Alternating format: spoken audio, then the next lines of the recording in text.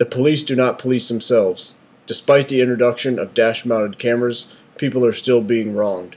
The same is true for police worn body cameras. To ensure that a record of the truth of police interactions exists and is accessible, we each need a film. That's why we're happy to announce the Accountability Through Transparency video contest, the winner of which will receive a pair of Pivothead sunglasses. By documenting and publishing police encounters, both good and bad, transparency and common sense have a better chance of prevailing while empowering others to exercise their rights and hold public servants accountable for their actions. For more information and to submit your video entry, go to copblock.org slash pivothead.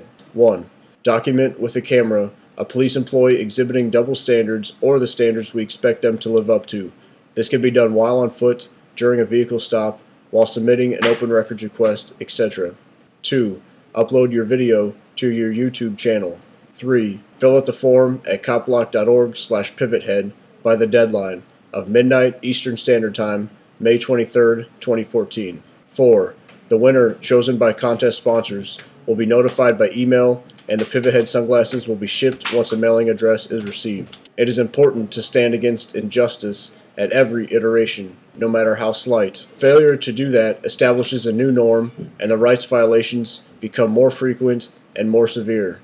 Who watches the self proclaimed watchers involved with the coercive monopoly called policing? We each do, and together we are the network that is bringing positive change and a better reality. Copblock.org slash pivothead.